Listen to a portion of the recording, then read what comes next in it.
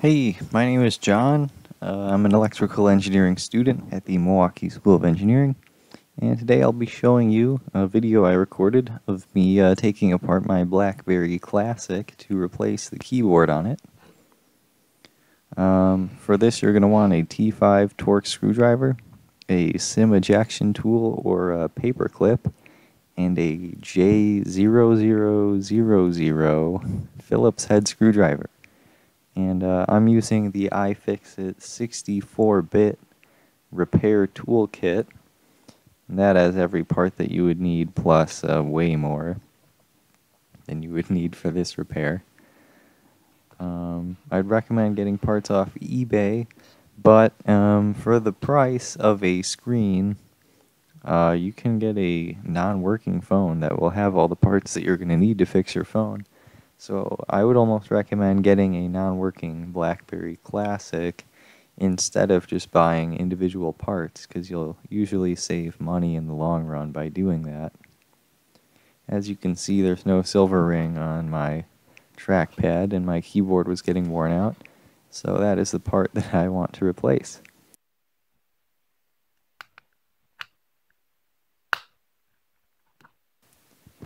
So um, I would recommend using a plastic pry tool to kind of dig around the bottom here, but you want to be careful because the charging cable is a little exposed, uh, the ribbon cable for the charging port.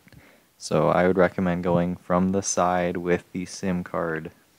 Um, and if you don't have the plastic tool, you can just stick something around the SIM card slot because that's where you'll have a little more wiggle room to get underneath the plastic back of the device. And uh, this is a pretty safe area to apply some pressure. I mean, there is the charging ribbon cable, as you can see there, that you really don't want to damage. But other than that, everything's pretty covered up. And there is a bit of glue on the top of the device. Um, so it's a bit of a challenge to get it off for the first time. Now what I'm going to do is get a T5 Torx screwdriver and I'm going to start working around the perimeter of the device. There's a, pla a black plastic plate that covers the phone. Um, so first what I'm going to do is remove the battery cable um, so I'm going to remove the T5 Torx screw from there, and there's also a small Phillips head screw. Um, my screw was damaged, so I don't have to remove that, but that's where it is. And I'm going to remove the ribbon connector there that has the battery connections, like so. And after doing that, I'm just going to work my way around the perimeter of the device um, removing all of the T5 Torx screws. Um, this guy might have some screws missing. Um, again, I've taken this apart before. Um, but this is the first phone I've ever taken apart, like model. So I'm, and there's not too much information on these guys, so that's why I wanted to make a video of how to do this. So I'm just removing all the Torx screws. There is another small Phillips head screw on uh, the other side of the device from the battery connector, the other side, the one with the volume buttons. So you might have to change your adapter for that one which that is, that is the screw there that I'm going to have to change my adapter for. Um, that one I'll remove. And these screws like to stay in that back cover. And you can just leave them in there and it'll still pop off the phone. That way you don't lose your screws.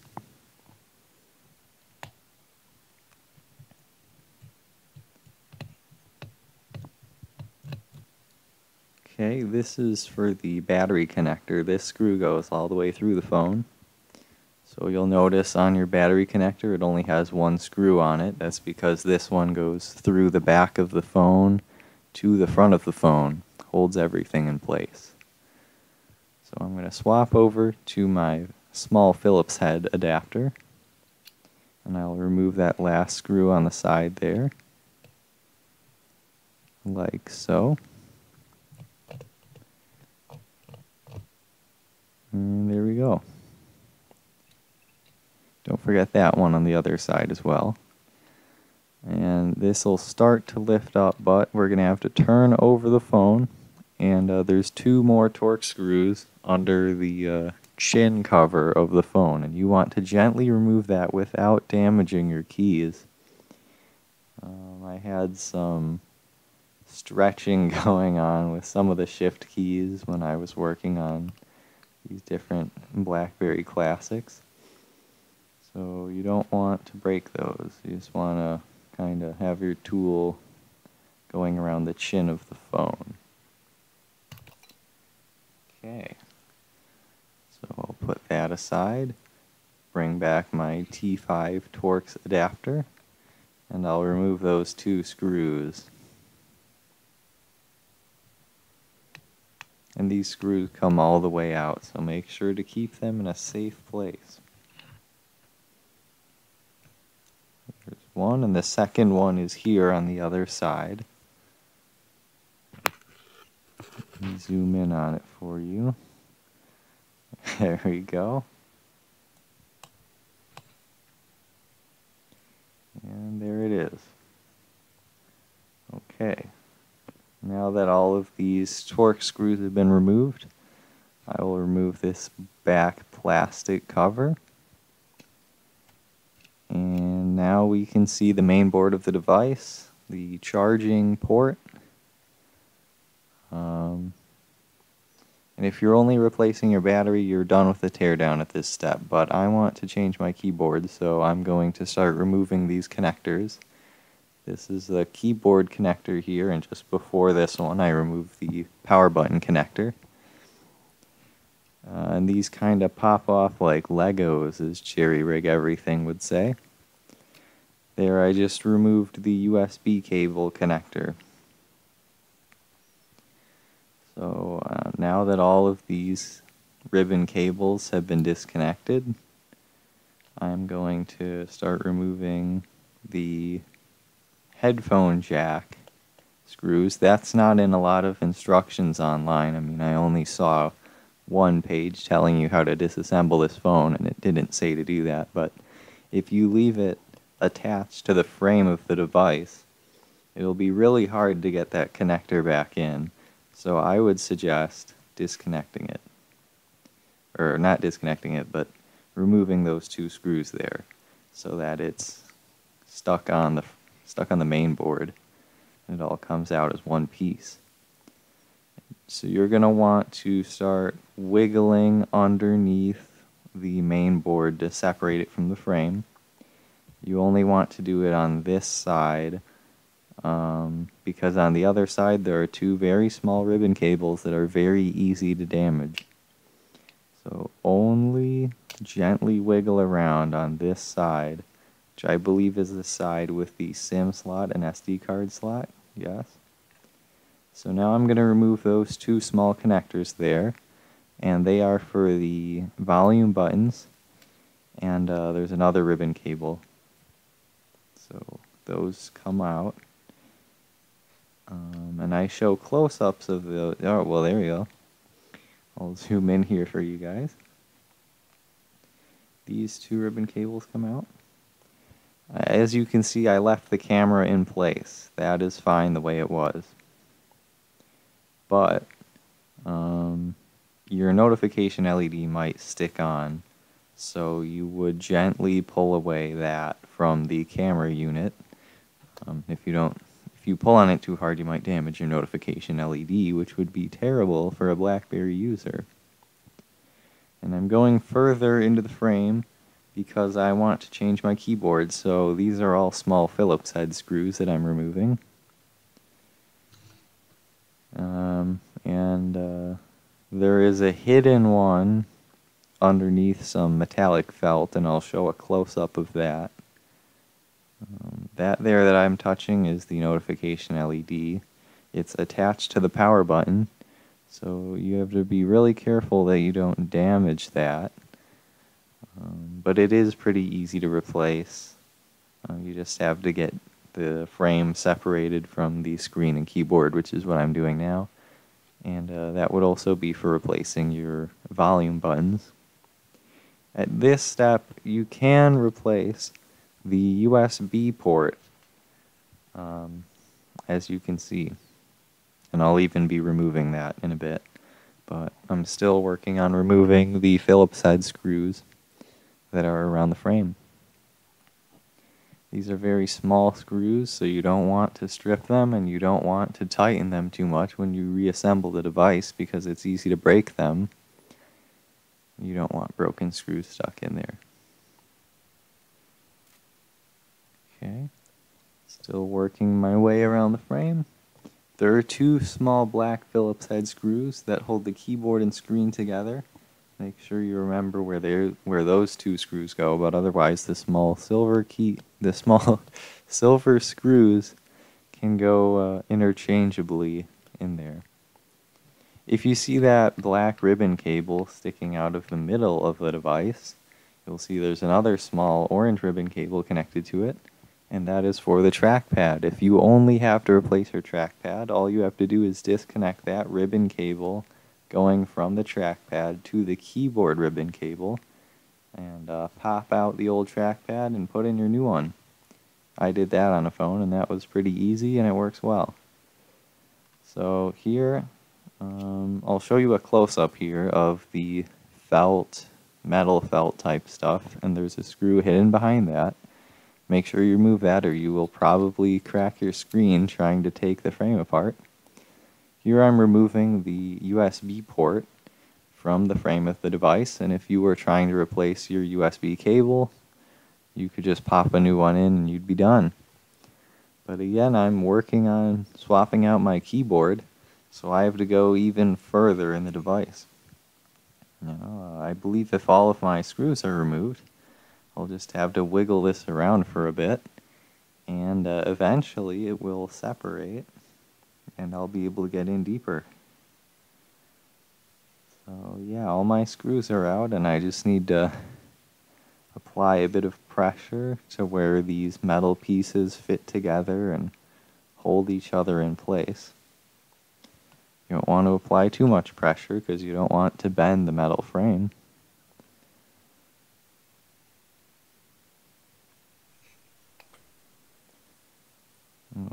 Okay, and there we go. It's separated. Unfortunately, my camera stopped recording when I actually replaced the keyboard, um, but there is instructions online, and I'll link to that in the description. Okay, so I've replaced the keyboard on my device, and now I'm just working on putting it back together. To make sure that your um, ribbon cable connectors are not sandwiched between the frame and the screen and keyboard assembly. And at this point, you're ready to start putting those screws back in and reassembling your device. Hopefully, all of your parts that you've put back in work, and you've got your device back into working order. And uh, again, you really don't want to tighten these small screws too much because uh, the top of them will snap off or you'll strip them and then you will have a uh, weaker structure around your phone and uh, it will make repairs just a bit harder in the future. That's happened to me a few times. Okay, so just getting in all these screws around the phone. Um, pretty much just get the black ones back in around the keyboard and screen and then you can work your way around with the silver ones and doesn't matter what order you do you, what what order you do those in. I'm going to put the power connector back in and you only need one screw for that which I'm showing you there. Um, you're going to want these two ribbon cables to come back in, and those are for the volume keys and uh, something else. So those will go in. Make sure that your camera and headphone jack connectors are tight. And you can uh, fold the phone back together. Okay. Um, not too much action here as far as putting screws in. But, um, yeah, make sure that's all snugly fit in. Get that headphone jack lined up again. And uh, there we go. Headphone jack is in position and two black Phillips head screws will go in there. So I will uh, get the right bit for that and uh, figure that out.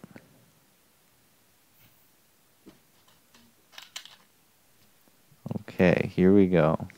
Putting in the uh, screws for the headphone jack. If you were replacing your headphone jack, you just put the new one in there instead of putting in the old one. Okay, oop, touched my camera lens there. I'll make sure to clean that. There goes the USB connector and the keyboard connector. Clip those back in. You don't want to forget to do those. And up there, that is the power button and the notification LED. Um, again, make sure that your notification LED is still seated in the proper spot. And uh, hopefully you didn't damage it when you took apart the main board from the frame. I'm going to put this black plastic cover over uh, over the device. Make sure to clean that camera lens again before I put the back cover on. And uh, just Torx screws around here and two small Phillips heads, so I'll work on putting those Torx screws back in. Okay, very nice. Get that one on. And this one in the corner. There we go. Just working my way around here with these Torx screws. Get that one in there.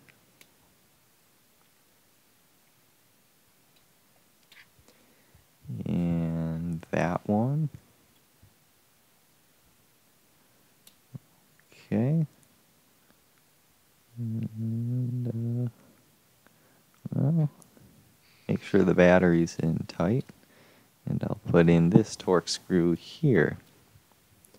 The order that you do this probably doesn't matter, but I suppose you could do it in a bit of a star pattern like they do with the uh, nuts on a car, uh, on a wheel of a car to kind of spread out the tension. I'm just kind of working my way around here. And now I'm going to switch to the Phillips head and uh, get that little guy in there.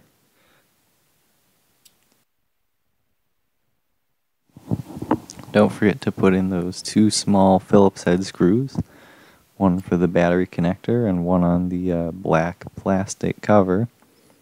Of course, the one on my battery cover uh, snapped so I'll be just putting that on with the 1T5 Torx screw. Um, I don't think it'll be too important because uh, all it's doing is holding in that connector and the back of the phone will be kind of holding that in place too. So I'll tighten that. There we go. And then I will put in this screw here that goes through the uh, back plastic cover thing through the device um, and kind of holds the charger cable connector in place. Okay, so now I will put the back cover over the phone I'm not going to snap it in just in case I forgot something, but I'm going to be putting on these Torx screws here. Um, the two T5 Torx screws. And I wouldn't completely put everything back together just in case it doesn't uh, have everything connected and you have to reopen it. But, you know, just together enough to test. It's easy to forget to reconnect some of those ribbon cables, so it's always a good idea to make sure that all of your hardware is connected and working properly. Good way to do that is with the BlackBerry Virtual Expert app. Um, if something isn't working, uh, the first thing to do is to open up the phone again and make sure that all these ribbon cables are properly connected. This one is for the keyboard, other one was for the charging port, and that top one is for the notification LED and the power button. It's possible that these ribbon cables could have been damaged, uh, in which case you would need to replace that part.